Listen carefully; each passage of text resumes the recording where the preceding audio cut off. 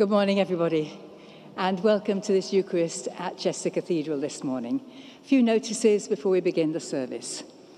We have visiting choirs from two Episcopal churches in Chicago, from Grace Hinsdale and St. Luke's Evanston. So we're welcoming them. They've sung our services all week, which is wonderful, and we should enjoy their music today as well.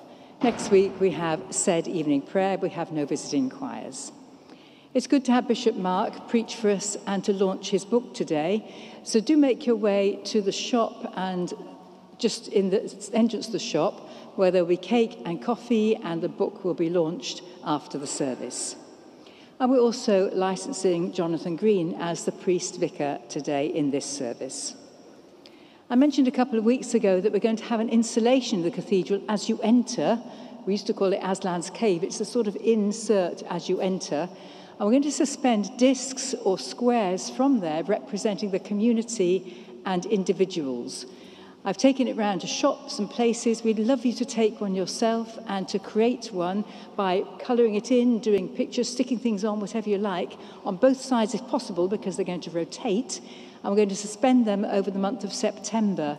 So if you think you could take part in that and come to the launch, we will invite you once you've done one. Um, you please ask at the back from Pat or myself, and we will give you a whole envelope which explains what it's about and how you do it. Please do join in because we want as many community members as we can to be part of that. The theme is welcome. The idea is that we welcome everyone to the cathedral and everyone to Chester. So please do take part if you think you possibly can, representing yourself or a group that you're a member of. We also have Making Tracks here, number three. It's been opened and we've already got people coming. It is incredible piece of work. Please do go and have a look at it.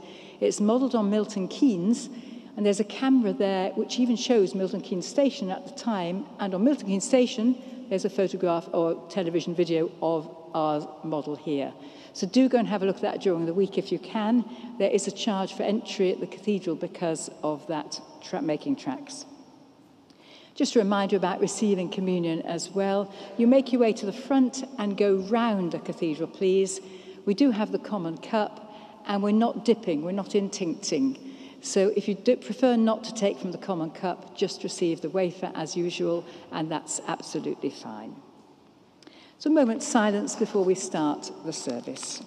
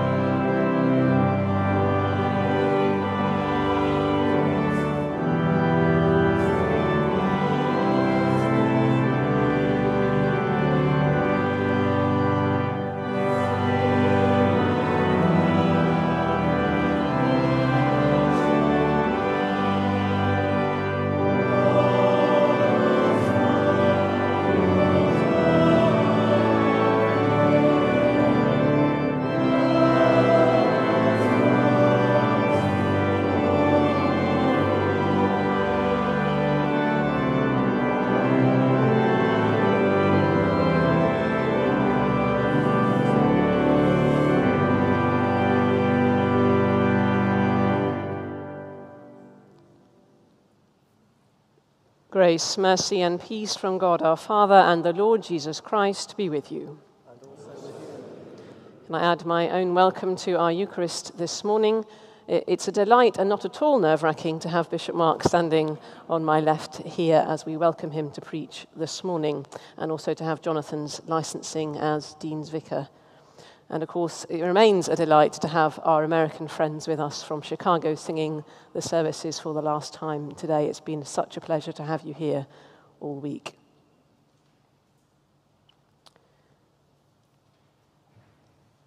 All your works praise you, Lord, and your faithful servants bless you. They make known the glory of your kingdom. My mouth shall speak the praise of the Lord.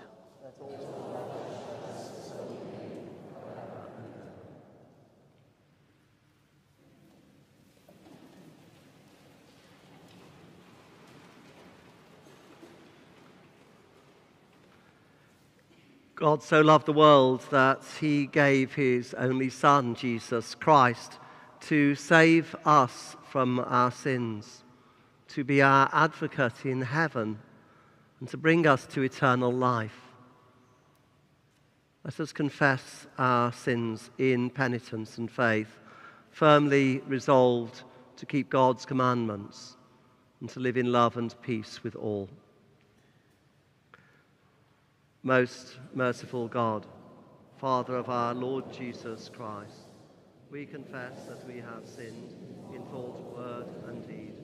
We have not loved you with our whole heart. We have not loved our neighbors as ourselves. In your mercy, forgive what we have been. Help us to amend what we are, and direct what we shall be, that we may do justly, love mercy, and walk humbly with you, our God. Amen.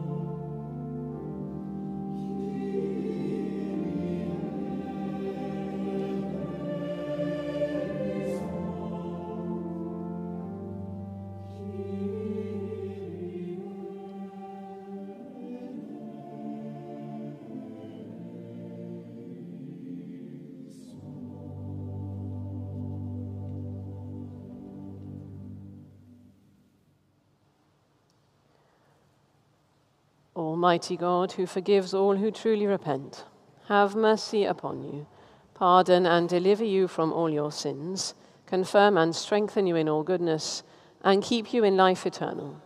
Through Jesus Christ our Lord. Amen.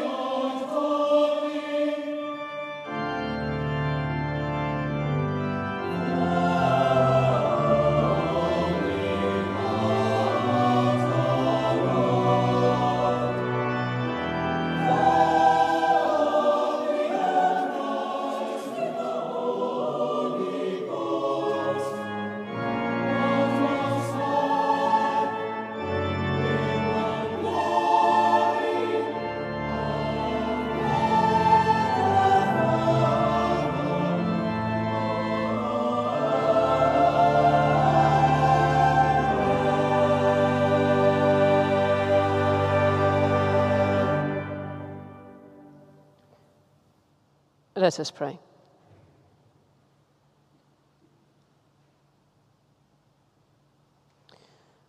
Almighty Lord and everlasting God, we beseech you to direct, sanctify, and govern both our hearts and bodies in the ways of your laws and the works of your commandments, that through your most mighty protection, both here and ever, we may be preserved in body and soul, through our Lord and Saviour Jesus Christ, who is alive and reigns with you, in the unity of the Holy Spirit, one God, now and forever.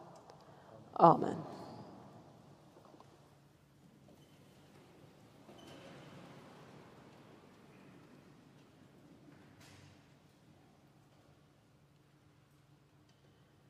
A reading from the letter to the Romans. Likewise, the Spirit helps us in our weakness, for we do not know how to pray as we ought. But that very Spirit intercedes with sighs too deep for words. And God, who searches the heart, knows what is in the mind of the Spirit, because the Spirit intercedes with the saints according to the will of God. We know that all things work together for good for those who love God, who are called according to his purpose. For those whom he foreknew, he also predestined to be confirmed to the image of his Son, in order that he might be the firstborn within a large family. And those whom he predestined, he also called. And those whom he called, he also justified. And those whom he justified, he also glorified. What then are we to say about these things? If God is for us, who is against us? He did not withhold his Son, but gave him for all of us. Will he not with him also give us everything else? Who will bring any charge against God's elect? It is God who justifies. Who is to condemn? It is Christ Jesus who died, yes, who was raised and who is at the right hand of God, who indeed intercedes for us. Who will separate us from love of Christ?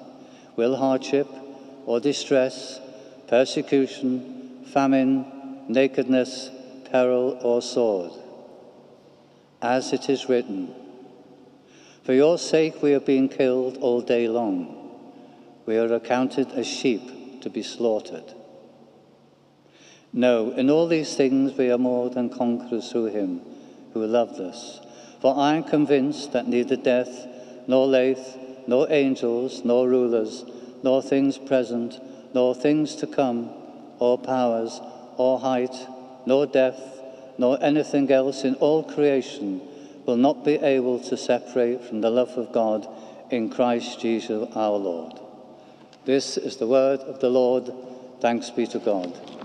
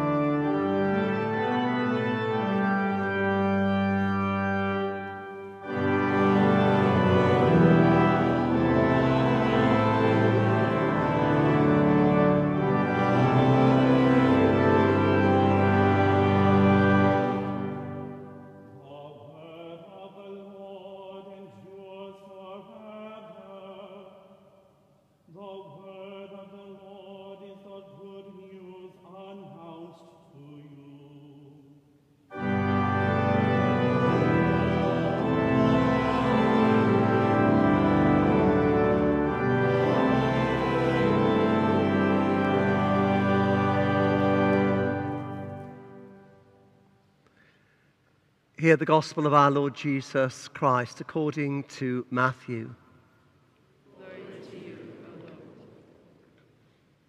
Jesus puts before the crowd another parable.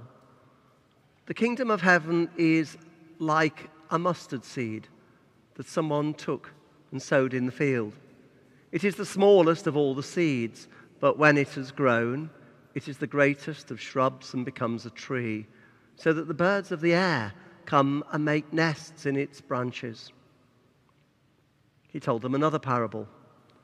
The kingdom of heaven is like yeast that a woman took and mixed in with three measures of flour until all of it was leavened. The kingdom of heaven is like treasure hidden in a field, which someone found and hid. Then in his joy he goes and sells all that he has and buys that field. Again, the kingdom of heaven is like a merchant in search of fine pearls. On finding one pearl of great value, he went and sold all that he had and bought it. Again, the kingdom of heaven is like a net that was thrown into the sea and caught fish of every kind. When it was full, they drew it ashore, sat down, and put the good into baskets, but threw out the bad. So it will be at the end of the age.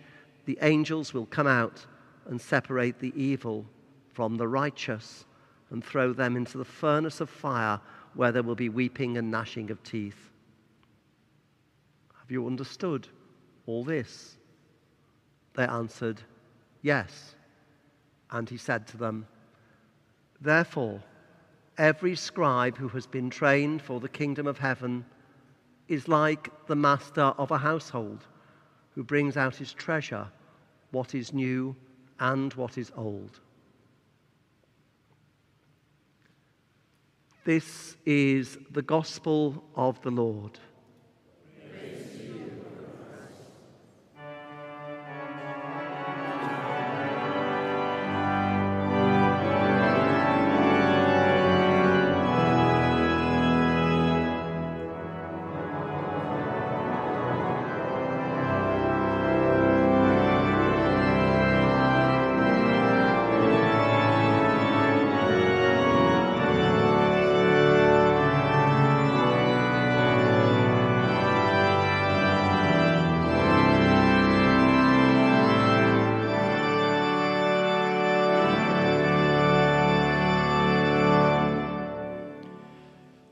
May I speak by invitation of the one true and living God, Father, Son, and Holy Spirit.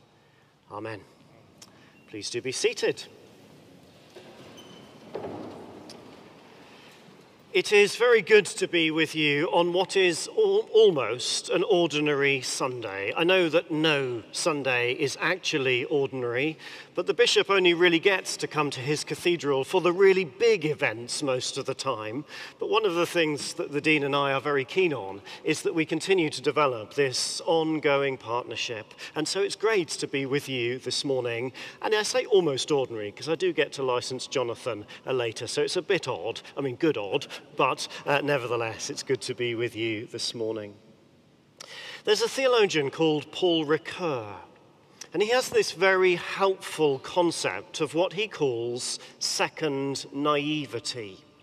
He says, when you come to the biblical text as a new Christian, you naturally come naively. You don't know what's in the text. You read it and you wonder it. David fighting Goliath, all very exciting. But as you grow in your faith, you naturally come to understand more, and you might do some theology and understand uh, textual criticism and so on and so forth, and you get very clever about the Bible and about your faith. But Paul Ricoeur says this is not the end point to which you should aim. He says rather, we as followers of our Lord Jesus Christ need to aim for what he calls second naivety. The place where, yes, we understand about the languages that it's written and the cultural concept and this passage uh, relating to that passage and so on and so forth.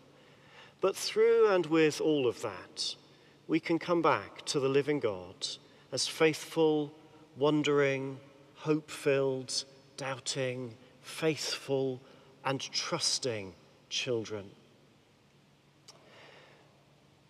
I have to say, that concept is profoundly useful for me as I seek to serve in this diocese as bishop. I do seek to engage with theology, and if you stay for the book launch after this service, you will hear more about that side of work. But my own faith is very often nurtured in the deep simplicity of seeking to understand the scriptures and follow Christ. And so it is this morning as I have come to prepare for this sermon. I have been captivated just by the first few words of the gospel reading, and we're not going to get very much further than that this morning.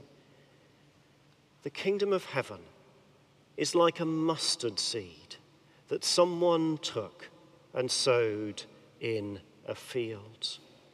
A mustard seed compared directly with the purposes of God and with our trust in them, our faith compared for all manner of reasons, that which is tiny becoming that which is huge, that which is invisible becoming that which is clearly visible and with huge effects. And be in no doubt that mustard seeds were and are tiny. Can anyone see it? Tiny do not lose the simplicity of this image. That which is small becomes that which is large. Remember back to that first occasion upon which you said yes to the grace of God in your life. You may have done it before you even really knew what you were doing. But the decision itself feels small and perhaps almost in one way inconsequential. And yet, day by day, as you seek to follow Christ, his rule, his way, his love, his grace comes to shape all that we are. That which is invisible, in my case, prayed in the bedroom of a friend of mine when I was eight years old and I was stopping overnight at his house having gone to a church event, becomes profoundly visible as Christ rules in every part of our life. This week I was at the Nantwich show and I was placed on a dinner table with a local MP, with a member of parliament.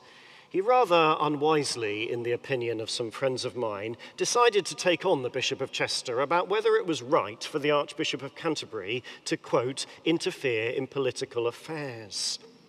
I asked him whether he felt it was right for MPs to interfere in religious affairs and pointed out to him that we had a duty to speak up for those who could not speak for themselves and to contend for issues of justice. That which is invisible becomes visible. Perhaps most tellingly in my own thoughts this week and prayers, what do you feed birds on? I'm no great ornithologist, but the bird food I have for the birds in my back garden is seeds, tiny seeds. I'm so rubbish at gardening, I've got no idea whether any of them are mustard seeds, but I imagine birds would quite like to eat them. But what happens in this parable? That which was bird food becomes the very place where the birds shelter. So we may be attacked, whether it's for speaking politics or for anything else in our faith. But as it grows, it builds a whole society in which all will shelter. And yet, if we stay at this level, we miss the central point of this parable, and that is its humorous effect. I don't know if you noticed Jesus telling a joke, although be careful when you read parables and you do not notice Jesus telling a joke, because if you don't see the joke, you probably have not understood the parable. That's a serious theological point. Mustard seeds grew mustard trees, and they grew prolifically. I am told they still do. In parts of the world, they are regarded as being oversized weeds. Get one in your field, and you will end up with a field full of them, for they have many tiny seeds which disperse when the pod explodes. If you were a first century farmer listening to Jesus saying this, and you heard him say, The kingdom of heaven is like a mustard seed that someone took and sowed in his field, you would splutter in your first century ale and say, Whoa, hang on a second, why would you do that? Jesus says, The kingdom of heaven is like a seed of Japanese knotweed which someone took and sowed in their garden. It gets everywhere. And there are various points that seem to me to flow very clearly from this. Firstly, notice that everybody has faith. The question is not whether you have faith, it is whether you have faith in the right thing. Secondly, notice that God is able to do God's own work. We are not called to do it for Him, we are called to do it with Him. This plant will self propagate but God calls you into partnership with Him. Do not imagine that you can ever contain Christ, that you can limit Him, that you can put Him to one part of your life or your world, for He wishes to be part of all that you are, all that you hope for. And this is vital. You see, there is a very real danger in the church that we will assume that we are doing God's work. But the question is, and always will be, is Christ at the center of it? Earlier on, I licked my finger and I dipped it into a contact lens case that I have. And I held it up and asked who could see the mustard seed.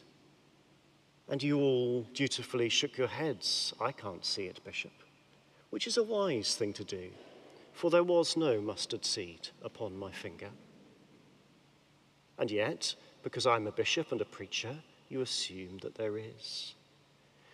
My sisters and my brothers, it is so easy in the world of the church, as we follow our forms and practices, to assume that Christ is at the center.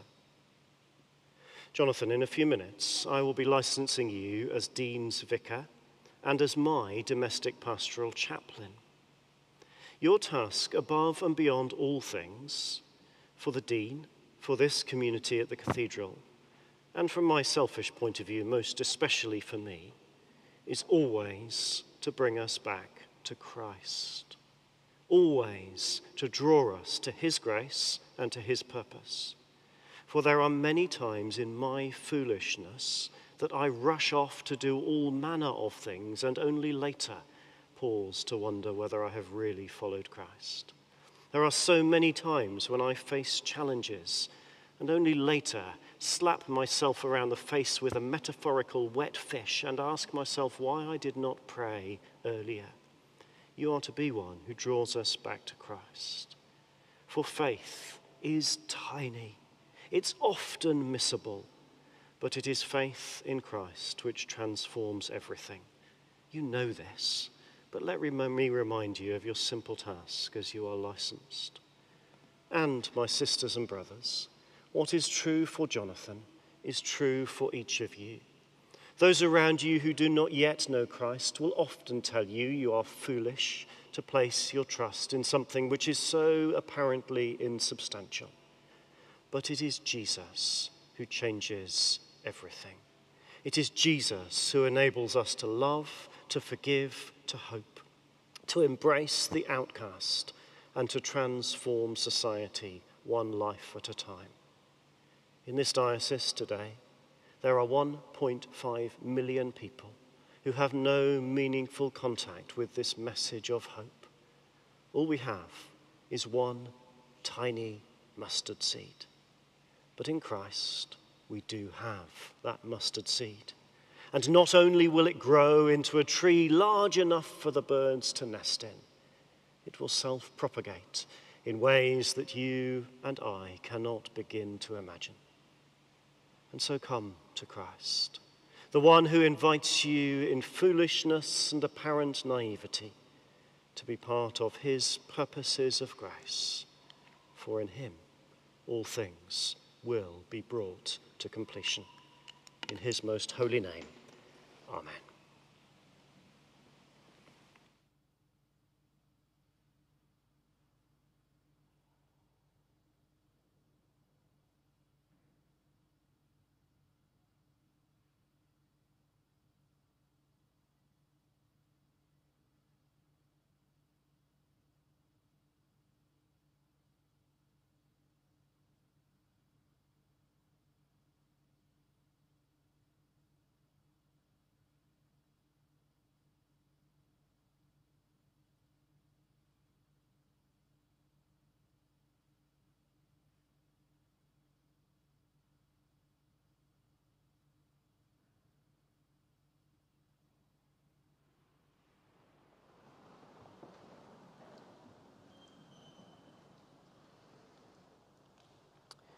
We declare our faith together in the words of the Creed.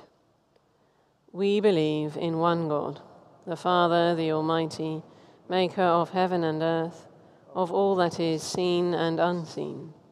We believe in one Lord Jesus Christ, the only Son of God, eternally begotten of the Father, God from God, light from light, true God from true God, begotten, not made, of one being with the Father through him all things were made. For us and for our salvation, he came down from heaven, was incarnate from the Holy Spirit and the Virgin Mary, and was made man. For our sake, he was crucified under Pontius Pilate. He suffered death and was buried. On the third day, he rose again in accordance with the Scriptures. He ascended into heaven and is seated at the right hand of the Father. He will come again in glory to judge the living and the dead, and his kingdom will have no end. We believe in the Holy Spirit, Lord, the giver of life, who proceeds from the Father and the Son, who with the Father and the Son is worshipped and glorified, who has spoken through the prophets. We believe in one holy Catholic and Apostolic Church. We acknowledge one baptism for the forgiveness of sins. We look for the resurrection of the dead and the life of the world to come. Amen. Do sit down.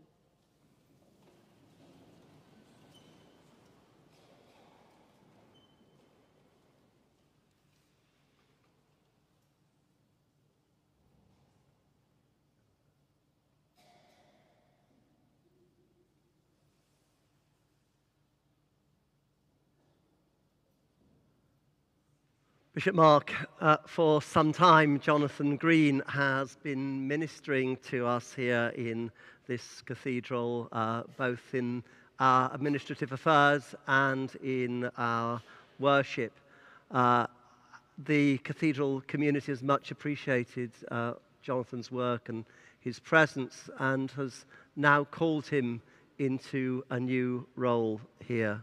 So, after due consultation and prayerful consideration, I present to you Jonathan Green to be Dean's Vicar in this cathedral church and also your domestic personal chaplain, pastoral chaplain. Sorry, I, I knew I was going to get that wrong.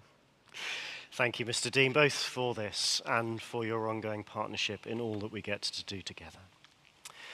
Jonathan, do you believe, as far as you know your own heart, that God has called you to share in the mission and ministry of this place? I believe that God has called me. And a question for all of you gathered here today Will you support Jonathan and share with him in worship and witness, in mission and in pastoral care? So I call upon each of you to pray not only for Jonathan, but also for yourselves that together we may be given grace to glorify God and serve the people of God in this place and around this diocese.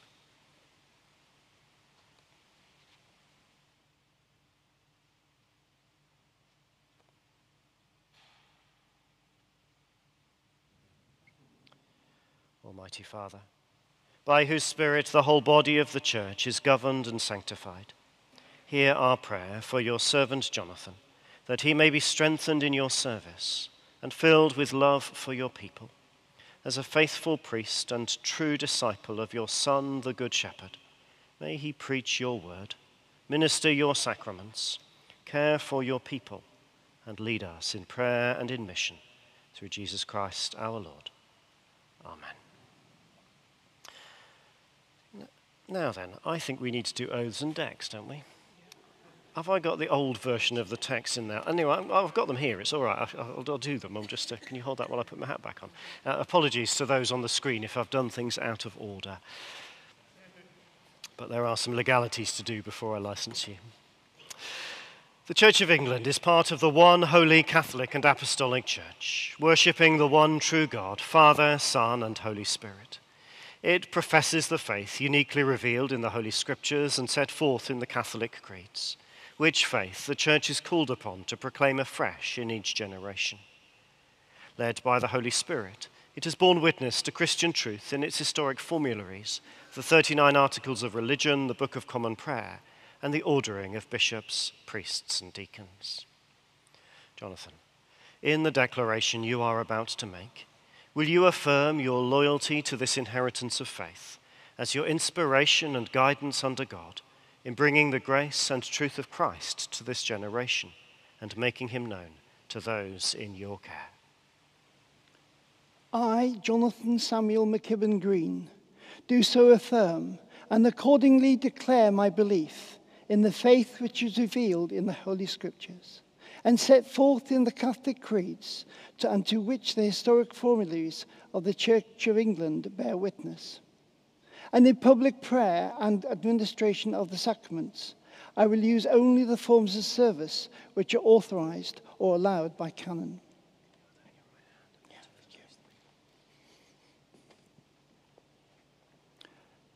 I, Jonathan Samuel McKibben Green, swear that I will be faithful and bear true wit allegiance to His Majesty King Charles III, his heirs and successors, according to law.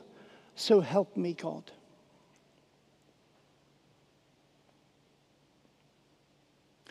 I, Jonathan Samuel McKibben Green, do swear by Almighty God that I will pay true and canonical obedience to the Bishop of Chester and to his successors in all things lawful and honest. So help me God. Thank you. Mr. Dean, could you restore your archidiaconal sense and just oversee the signing of that for a moment? There's a pen over there, just on the paste stools, I think.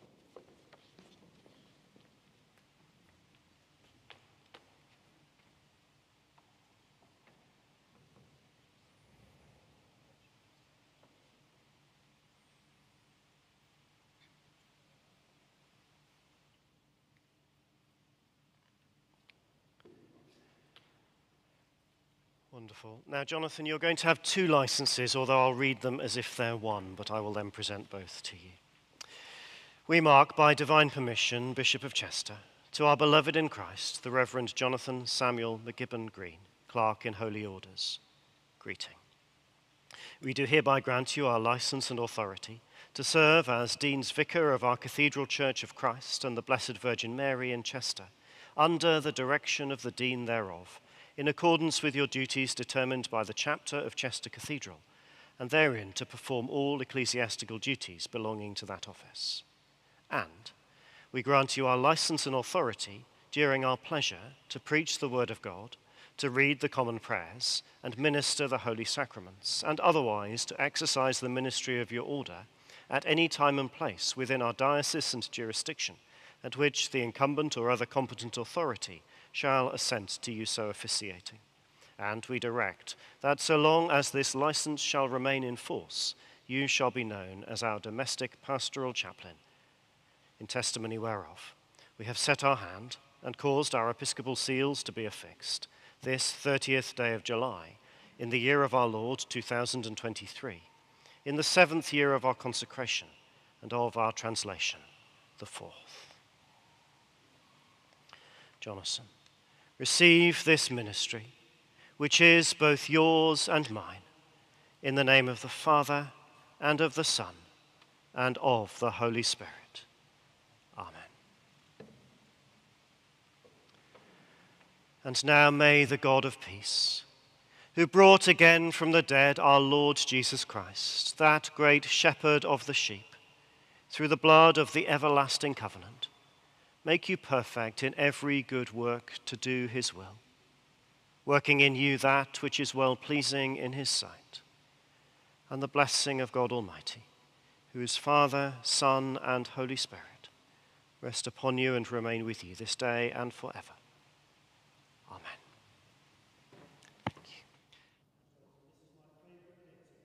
Service, just come and stand up here for a moment. Uh, and you are allowed just for a moment to pretend you are Pentecostal. You can clap, you can cheer. You can, wait, wait, wait, not, not so soon.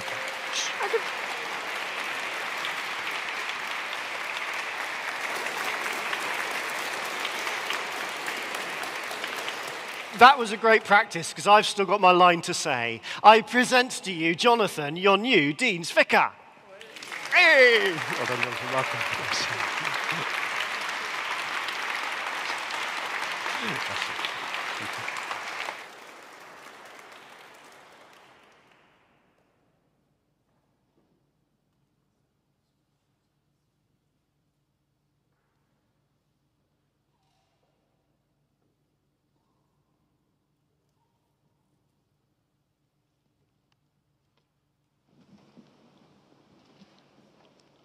the power of the Spirit and in union with Christ, let us pray to the Father.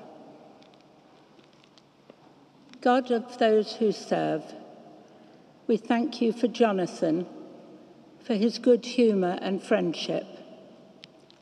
Give him love and faith to continue serving you, so that he may remain a strong support to all those whom he knows already through his work at the cathedral, and the strength to develop its mission to those who come seeking for comfort and for a new way of life. Support all bishops and clergy so that in all they do, they demonstrate the love of God and inspire others to follow the way of Christ. Lord, in your mercy, hear our prayer. God of all the people of Christ, inspire us not to be afraid to be the mustard seeds in a world that often seems like a barren field, where our attempted good actions will come to nothing and our faith will wither. Let us never feel alone and powerless, but truly believe that we are eternally supported by your love, and that through our continuing faith and hope, finally the seeds can flourish and the wilderness can blossom. Lord, in your mercy, hear our prayer. God of all creation, here we bring before you all our brothers and sisters throughout the world who are living in pain or poverty or isolation and who face the future only with fear. Strengthen our resolve to act every day for those whom we are in danger of forgetting from one week to the next. We bring before you today, especially fishing families in Yemen, eating only when there is a catch, no longer able to afford school fees, forced to marry off young girls to reduce the number of mouths to feed. Make us constantly aware, too, of families in this country who dread the holidays as a period when school meals disappear. Housing, especially for homeless people, is too small to play, and entertainment and travel are too expensive even to consider. Give us arms to welcome those fleeing from war and to those persecuted for their faith or ethnicity or sexuality. Give us eyes to recognize all those already suffering extreme results of climate change and our own part in creating that change.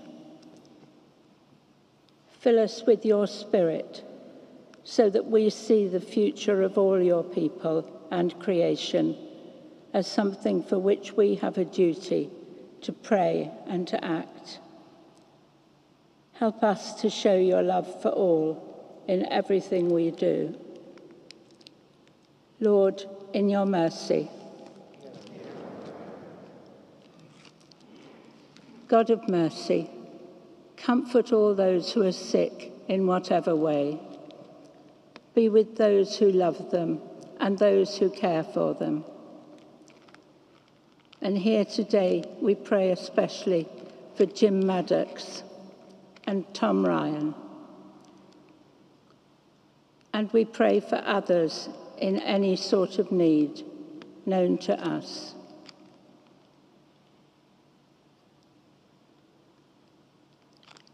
Lord, in your mercy,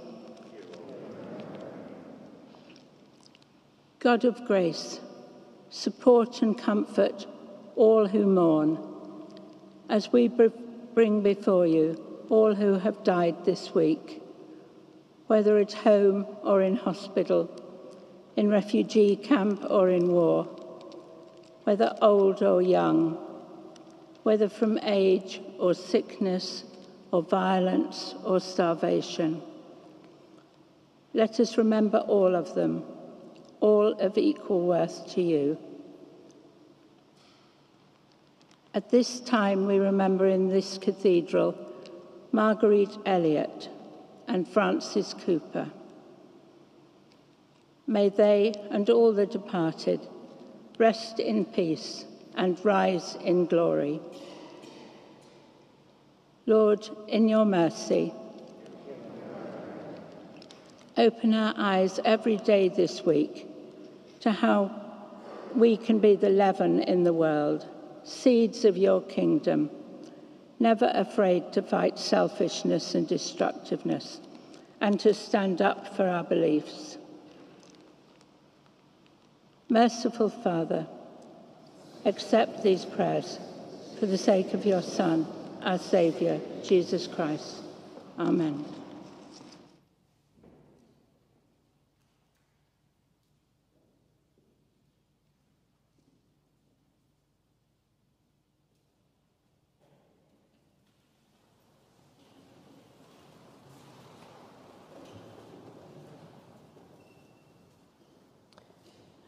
We are all one in Christ Jesus. We belong to him through faith, heirs of the promise of the Spirit of peace. The peace of the Lord be always with you. We offer one another an appropriate sign of peace.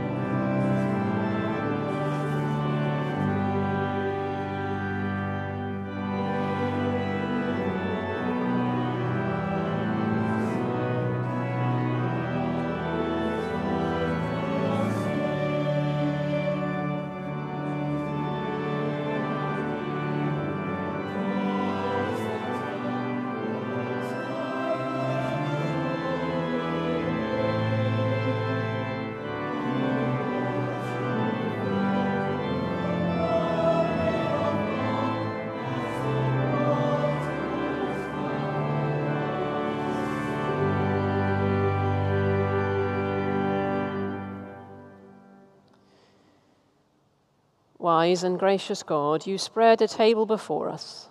Nourish your people with the word of life and the bread of heaven. Amen. The Lord be with you. Lift up your hearts. Let us give thanks to the Lord our God. Blessed are you, Lord God, our light and our salvation. To you be glory and praise forever.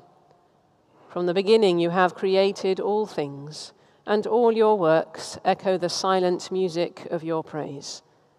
In the fullness of time, you made us in your image, the crown of all creation. You give us breath and speech, that with angels and archangels and all the powers of heaven, we may find a voice to sing your praise.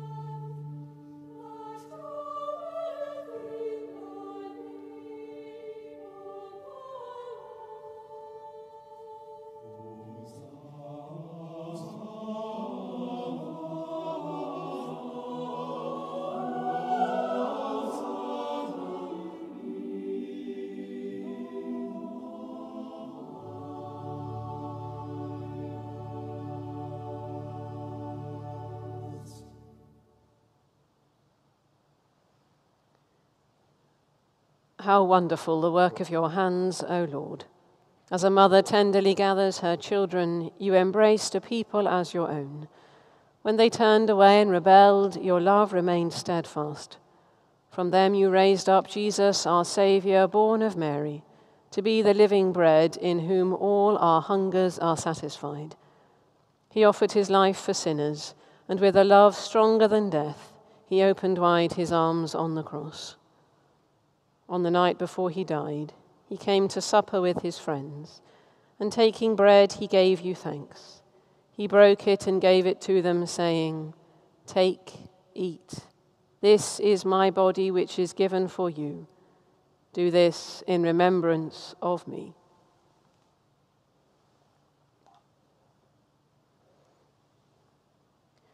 The end of supper, taking the cup of wine, he gave you thanks and said, Drink this, all of you.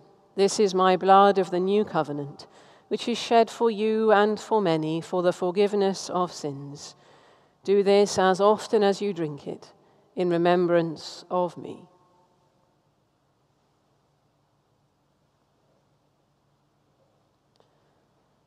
Great is the mystery of faith.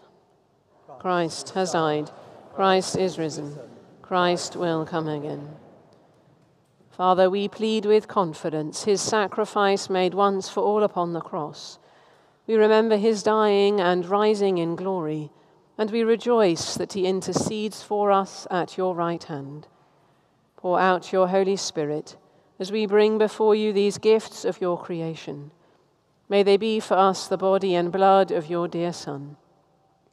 As we eat and drink these holy things in your presence, form us in the likeness of Christ and build us into a living temple to your glory.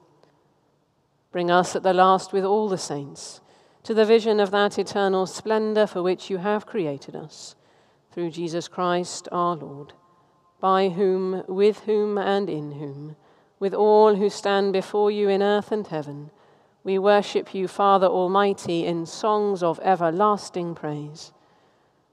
Blessing and honor and glory and power be yours forever and ever. Amen.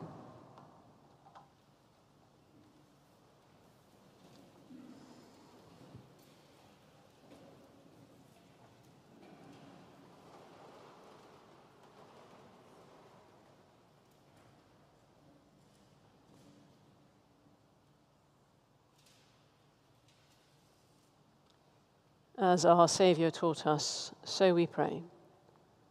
Our Father in heaven, hallowed be your name. Your kingdom come, your will be done on earth as in heaven. Give us today our daily bread. Forgive us our sins, as we forgive those who sin against us. Lead us not into temptation, but deliver us from evil. For the kingdom, the power, and the glory are yours, now and forever. Amen. We break this bread to share in the body of Christ. Though we are many, we are one body because we all share in one bread. Draw near with faith, receive the body of our Lord Jesus Christ, which he gave for you, and his blood, which he shed for you. Eat and drink in remembrance that he died for you, and feed on him in your hearts by faith with thanksgiving.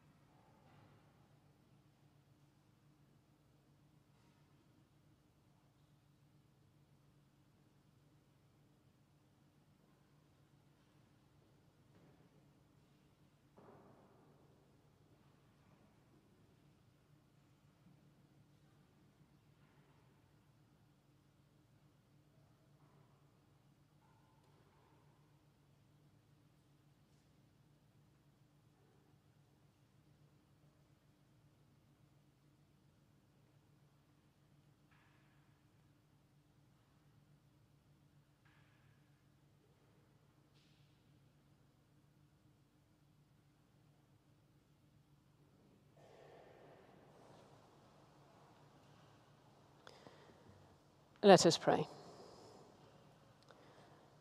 Strengthen for service, Lord, the hands that have taken holy things. May the ears which have heard your word be deaf to clamour and dispute. May the tongues which have sung your praise be free from deceit. May the eyes which have seen the tokens of your love shine with the light of hope. And may the bodies which have been fed with your body be refreshed with the fullness of your life. Glory to you forever. Amen. Would you please stand?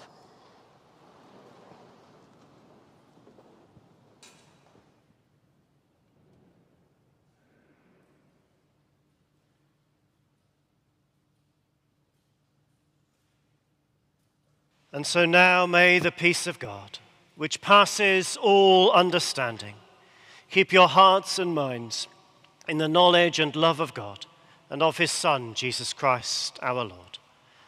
And the blessing of God Almighty, who is Father, Son, and Holy Spirit, rest upon you and all for whom we have prayed this day and forever.